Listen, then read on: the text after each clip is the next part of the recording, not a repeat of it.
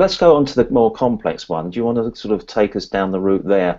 You know, what? Okay, you've just you've built the foundation. Now, sort of start building sort of the more complex version for us. Okay, so so th there are a number of ways of um, building out more complex applications in, in UI5.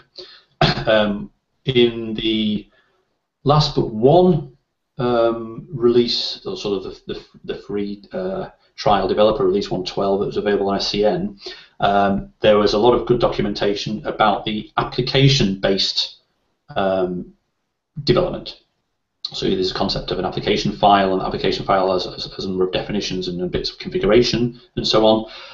Um, in 116, which is the the release that's currently available on SCN, I'm looking at it right now actually, um, uh, there's a new uh, or a newish um, approach, which is called the component-based approach to application development. So um, that's that's the thing that um, uh, Wave 2 Fiori apps uh, will be developed in, or are, are, developed in, sorry, and that's the way that we're trying to encourage people to uh, consider when they're thinking of building complex applications. So we have the idea of a component, which is a you know a set of reusable uh, things. So everything from model definitions, views, controllers, utility functions in, in, in, JavaScript and so on, all bundled up in a nice package in a set of subdirectories, and then controlled by uh, this component. And that component can be then uh, run freestanding, or it can be, be, embedded in a more complex application. But I think the key thing is that um, if you're building out a, a more complex application, then you, know, you want to start looking. I've already mentioned this. Um, you want to start looking at the, the MVC approach. So you want to start sort of separating your concerns and and building your views and having your controllers do the, the handling of the events and so on. And, and, and, and so it goes from there. And it just so happens that you know, and, you know, here's here's one we prepared earlier, as it were. It just so happens that, um, especially for this talk, we've got a video uh, that I recorded um, not uh, two hours ago, um, taking us through what a Fiori app looks like, um, what uh, what really makes up a Fiori app, and you know what are the component parts? Maybe the components are wrong, a bad word to use there. What are, what are the the uh, inherent parts of uh, the Fiori application from a look and feel perspective? So we examine that, and then we sort of flip the flip the lid and have a look at the index.html. We have a look inside the component.js, and we have a look inside the the first app view, and then um, we have a look at the master view as well. So it gives you a, a, you know within 10 minutes, it's only 10 minutes long, 11 minutes long. It gives you a um, a nice feel for what a Fiori app looks like and actually how it's built and, and how it all fits together. Okay, well, let's run that video. Thanks for supplying it, and we'll be back in a second. Okay. Okay, so here's a little look at a custom Fiori app. Like all Fiori apps, um, it's written with SAP UI5, the uh, UI framework and um, it's uh, pretty uh, pretty standard looking for the moment. Uh, we can see that we've got a, a, split app which consists of a master view and a detail view. In the master view, of course, we've got the idea of um, our items here that we're going to select in a list. And then once we select an item in the list in the master view, uh, the corresponding item information is shown, is, is slid into place in the detail view. All of the um, controls that we see, apart from one, uh, which we'll come to shortly, uh, are in the SAP.m library of the SAP UI5 framework, and all the Fiori apps are written with SAP.m controls, um, with, again, an exception that we'll come to. So we have familiar items like the search field, and we've got, uh, of course, the standard list here that sits, of course, within a page. The page has got a footer, and this search field is in the in the subheader as well. Page got a title. The list contains uh, object list items, which are bound to the entries in the in the model. Uh, the object list item is a really nice way of showing um, information about a particular item. The object list item itself contains attributes and statuses with semantic colours. So you can see maybe green there for initial.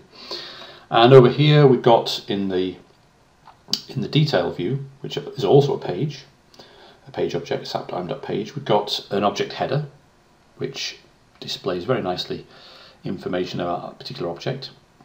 And then within uh, the middle section, we've got an icon tab filter, um, which is within an icon tab bar, of course. Uh, we're, using that to, to display the supplier address, and it's actually this address here, this address uh, layout, that is using um, a control that's not in the SAP.m library, it's a control in the sap.ui.layout library, in fact, SAP UI layout form, and it's a simple form, a way of uh, laying out uh, forms. Down here, oops, down here we've got um, a table, sap.m.table, which is sort of the brother of the sap.m.list. It has columns, and each of the columns uh, can be described separately.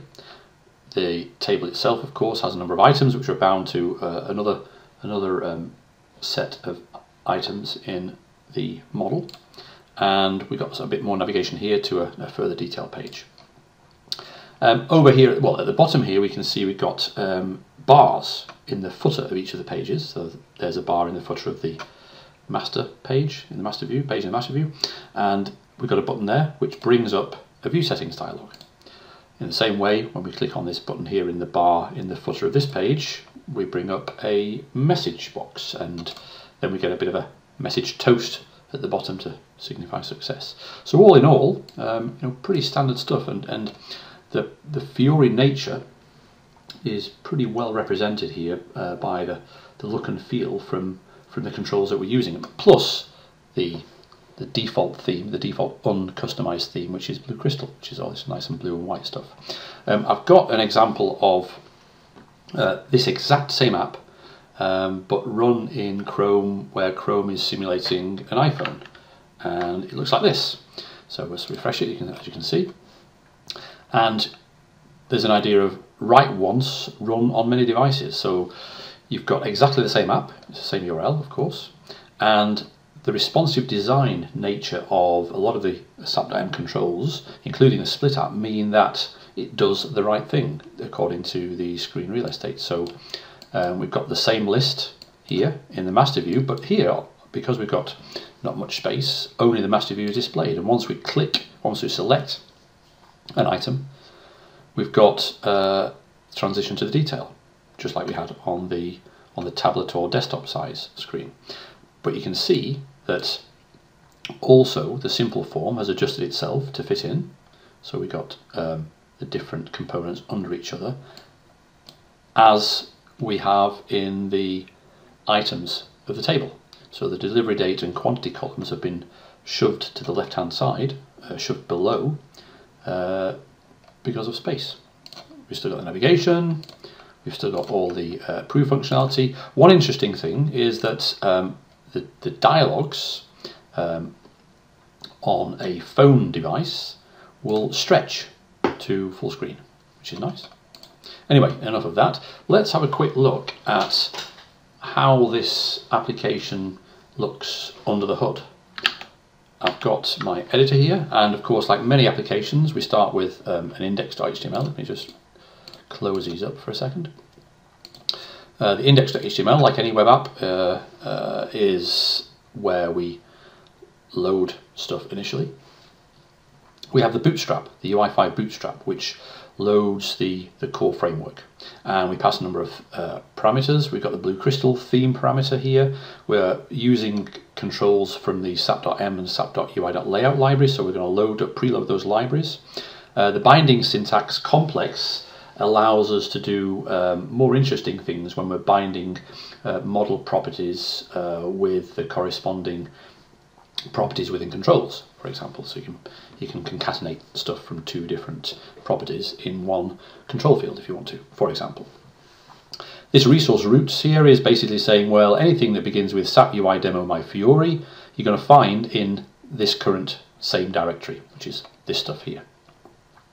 We want to keep the index.html as simple as possible and as small as possible. So uh, that's why we have only three lines here uh, in this script tag. We are using the component concept. which is a relatively new concept introduced, I think, with 116. Uh, it's documented here in the SDK. Uh, you can have a look at it. It's got a, a, simple component concept documentation, and then you can go to advanced components. The general idea is that um, a component is a reusable um, uh, chunk of application. So the the reusability means that uh, one developer group can develop a component which can consist of views and controllers and utilities and, and models and so on, and then you can embed that component within another another application uh, in a completely different um, developer group, for example. You can split up the development like, like that. Uh, a component lives in a container, so that's what this container is here, and we're instantiating the component there. Uh, automatically, it will look for a component.js here, which is of course is here, which is here, component.js. The component container is placed in the body, and that's it as far as the index is concerned. Um, let's have a look at the component.js. If you've written JavaScript views before, you might be uh, familiar with this function here, create content. Um, we're inheriting from this UI component um, to create our own component. Uh, there's there's two types of components. There's a there's a, a, a, component with a visual aspect, as in you can see stuff, and there are also um, components that don't have a visual aspect. If you're building sort of services in the background, for example, this of course is going to be visual. So we have a create content function to uh, fill in code for. We're creating a view. Uh, we're giving an ID of app, and it's uh, SAP UI demo my Fiori view app, which of course is there, view app. It's a JavaScript view, we'll have a look at that in a minute. And what we're doing is the, is the root view, it's the view um, from which everything else hangs. Uh, we're creating our models, so we've got a JSON model pointing to a bit of uh, test data. We've got an internationalization model, which is pointing to our resource bundles for the texts for the um, uh, application. So when you see, for example, sales orders or sales order, there was the text that we want to be able to translate into different languages and therefore hold in a resource uh, model in a message bundle. And we have also uh, quite an interesting JSON model holding device information, uh, which we can use then logically in Boolean statements in our XML views to decide whether to show or not various uh, controls or parts of controls. Once we've done that, we return the view and leave go, and the uh, view is instantiated and rendered. The app view looks like this. There's a create content. We've got the split app, which we can see is the whole thing. There's the split app there, split there. And we have a master page, and we have an empty page, which is the empty page that you see when you first load the app. There. And we put that in a shell as well, which we can't see on this screen because the screen is too small. And from there it goes on. Oh, we've got the master view and its corresponding controller. By the way, the master view is in XML, like most of the other views. We've got a line item view, an empty view, which doesn't have a controller. You don't have to have a controller if you don't need one, and so on.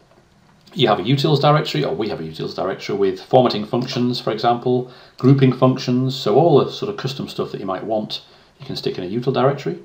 Um, the message bundle, which are these texts here, is in this internationalization directory, and of course we've got our mock model.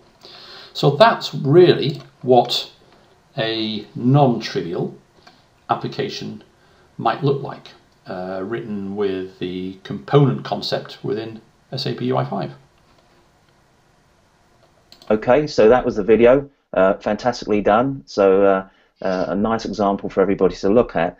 Uh, I'm really interested in this. So, as a developer, what skills do I need to at least have so I can then go ahead and build some of these SAP UI5 Fiori apps? I suppose contentiously, um, the biggest skill or the biggest the biggest thing you need is, is passion and interest and a bit of time. Uh, anybody, if I can do it, anybody can do it. Um, when you say as a developer, I I assume uh, that you mean as an SAP developer, as a as a maybe a traditional app developer, like like what I am, as it were, and um, really it's a case of visiting the uh, the space on uh, SCN. There's a dedicated space for the SAP UI5 framework, And um, there you can download um, the evaluation package of UI5 version 1.16. I think it's patch level 3 at the moment. Um, install that. In fact, I, I've written a, an alternative guide for doing that.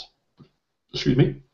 Which um, I know a number of people have used, and I've sort of forced my friends and colleagues at Bluefin to, to do the same thing, and, and you know because of that we can interact and you know send each other code and share stuff on our internal Git server, and you know things just work. It's great. Um, so you need the framework.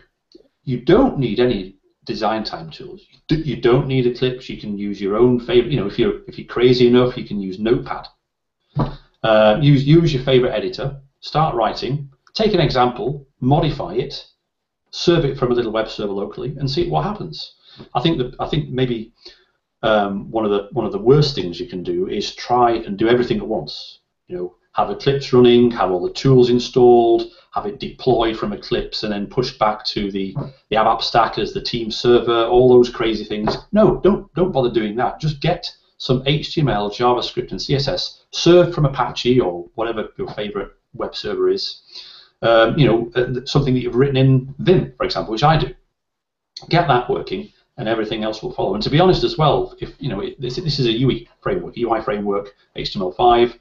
So traditionally, you might think, well, you know, is this really for me? You know, my, me personally, I come from originally from Basis, and you know, development, integration, um, you know, troubleshooting, performance tuning, nothing to do with UI at all.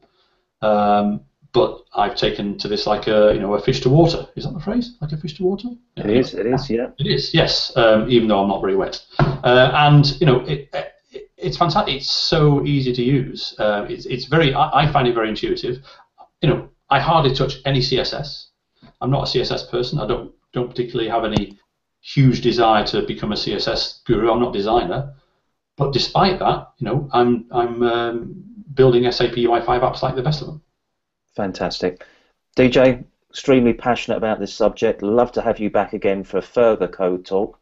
Uh, and also, as I mentioned at the start of the code talk today, really love to have you back pretty soon to talk about YRS because it's something that I think both of us are really also passionate about, especially with you know trying to get the future of young developers uh, on a really good uh, footing. So thank you again for joining me from sunny Manchester, and I'll see you again soon. Thanks for having me. Okay, see you soon. Bye.